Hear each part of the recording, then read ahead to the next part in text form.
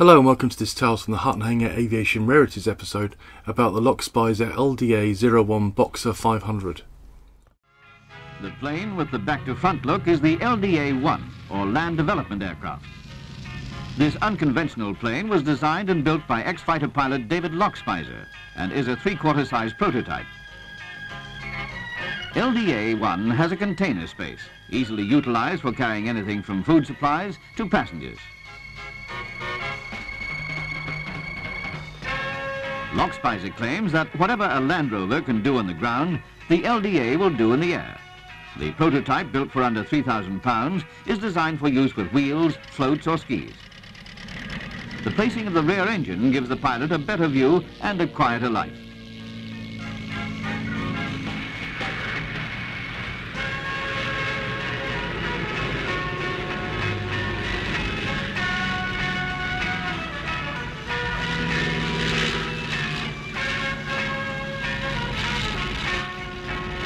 LDA-1 may look backward, but with all its advantages, it could prove a forward idea for underdeveloped countries.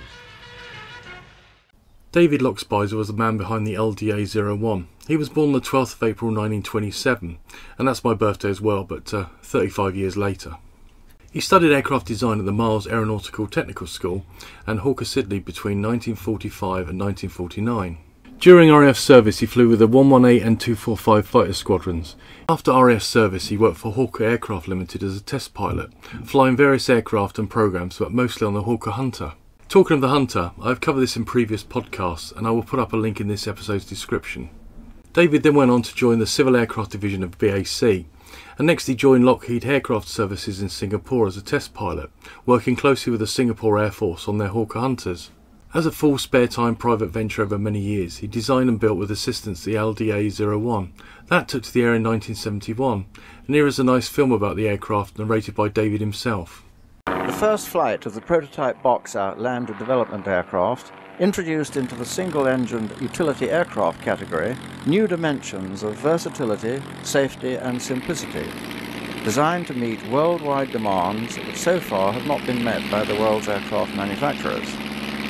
From various configurations investigated, the tandem wing layout was chosen because it can combine efficiency and simplicity with safe flying characteristics.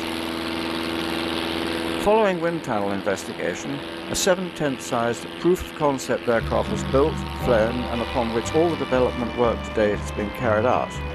The aircraft is shown in this video during various stages of development. The all-up weight of the Boxer is in the order of 4,000 pounds, depending upon the version and choice of engine, and has an average disposable load of 1 ton. The initial design was based on a Lycoming 290 horsepower engine. However, any engine, either piston or turbine, up to 450 horsepower, could be fitted. Greater safety is achieved by combining exceptional visibility from the cockpit with a low noise and vibration level, an advantage of the rear-mounted engine. This results in a cockpit having a lower fatigue level and in particular benefit when low flying. For the initial program, the aircraft was fitted with an 85 horsepower Continental engine and had a four-wheeled undercarriage having Ackermann steering that enabled it to taxi with precision over the removable center fuselage pannier. This may be of a variety of types, carrying cargo, stress air relief, supply dropping, firefighting and many other roles. This four-leg undercarriage arrangement is also used to enable floats to be fitted. As the foreplane is designed to stall before the main plane, and the latter carries the primary roll and pitch controls, the aircraft has exceptionally good low-speed handling and ultra-safe stalling characteristics. Wind tunnel tests were used to develop this, and flight trials confirmed the docile behavior.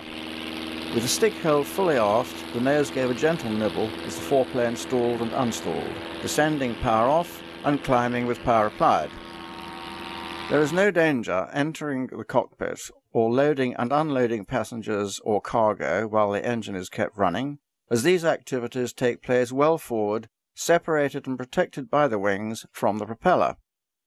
Simplicity has been the guide in this design to ease manufacture and assembly. Built from light alloy and steel tube, the prototype was designed structurally as well as aerodynamically to be a proof of concept research aircraft. The three section fuselage, front, centre, and rear, enables ease of servicing and fitting replacement sections, either for repair or changing roles.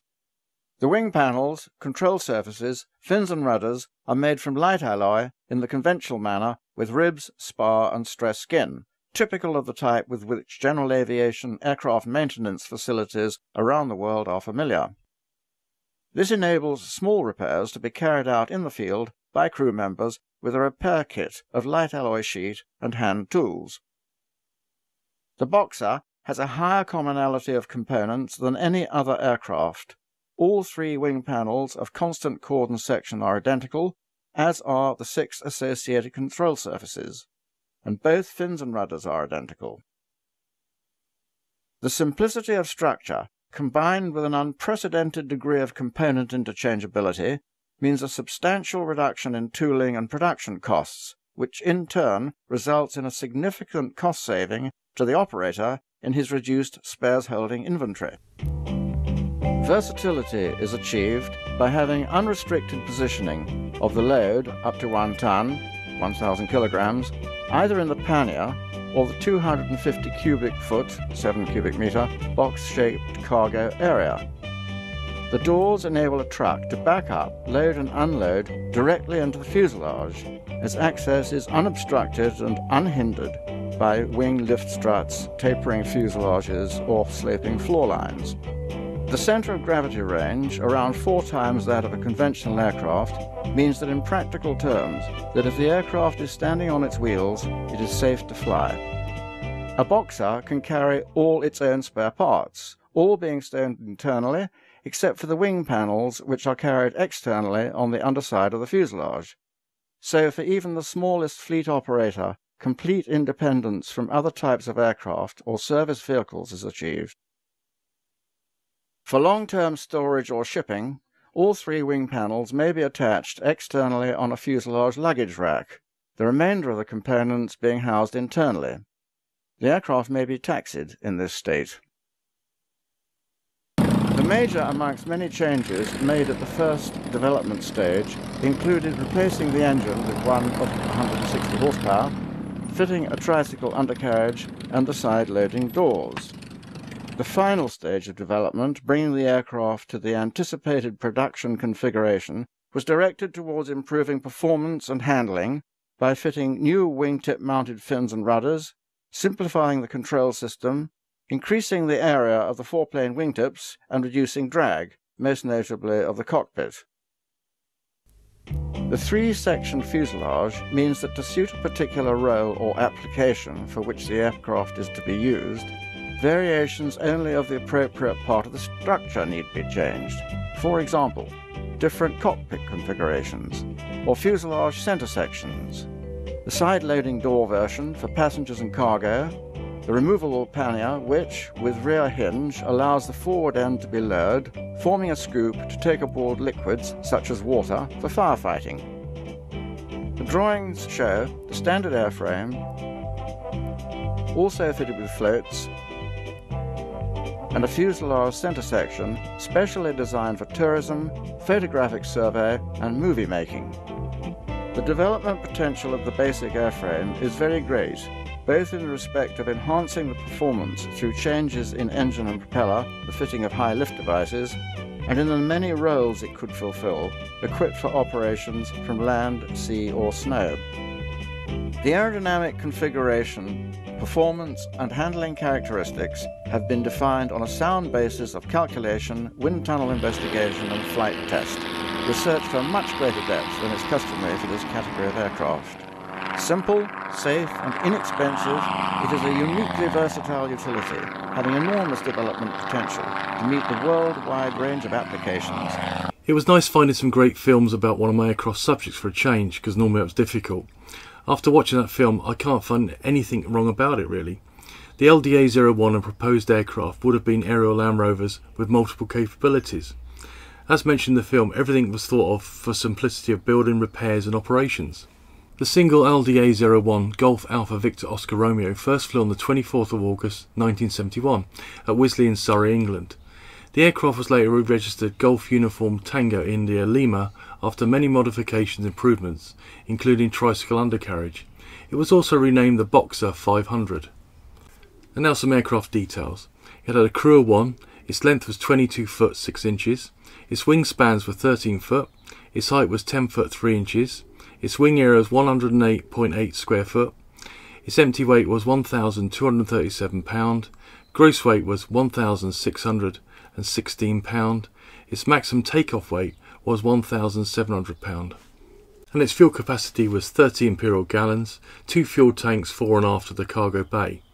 Power plant, one Continental C85 piston engine and later fitted with a Lycoming 0 320D1A 4 cylinder air cooled piston engine 160 horsepower.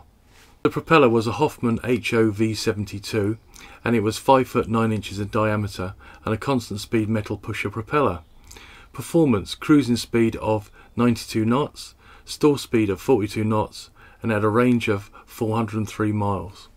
Planned production was to be done by Brooklands Aerospace at Old Sarum Airfield, but sadly the LDA 01 was destroyed and the project was also killed off in a factory arson attack on the 16th of January 1987. Also 10 Edgley Opticas, another unusual British aircraft type, were also destroyed. David Lockspeiser was a very talented man, and he sadly passed away on the 23rd of March 2014. And I think the LDA 01 was a fantastic idea ahead of its time. I do say this about a few of the aircraft I've covered on this channel, but this one was really special. As I said before, I think it's a terrific aircraft, so please leave a comment, like, subscribe, share, whatever. Uh, the feedback's always appreciated, and um, again, thanks for listening, and uh, see you soon.